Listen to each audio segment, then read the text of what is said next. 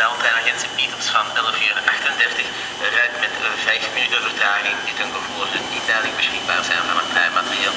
komende van een voorgaande trein met vertraging. Dames en heren, de L-treinagent Pieters, de L-treinagent Pieters van 11:38 rijdt met 5 minuten vertraging Dit ten gevolge niet duidelijk beschikbaar zijn van het treinmateriaal. komende van een voorgaande trein met vertraging.